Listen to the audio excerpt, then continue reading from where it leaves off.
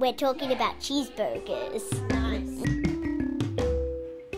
12 Hour Theatre Project is our massive community event that we do with uh, all of our artists from ages 7 through to 25. Uh, they get here at 9am. They've got an entire day to create three pieces, which they then perform that evening, and then we are done and collapsed in a joyous heap by 9pm.